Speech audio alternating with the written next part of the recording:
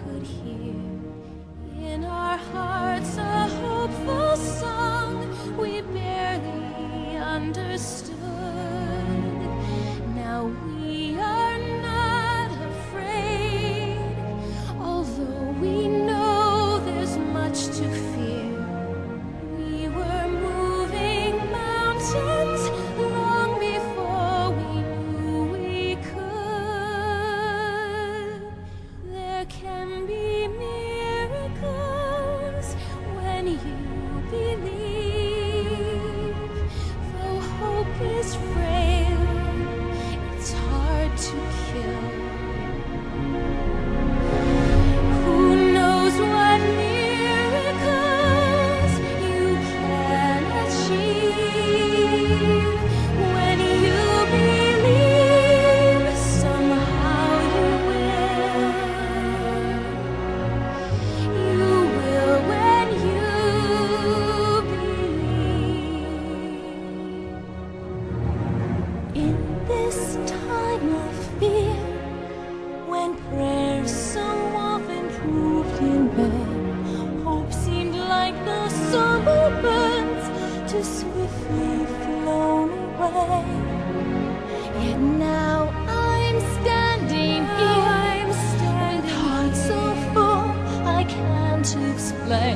seeking faith and speaking words I never thought.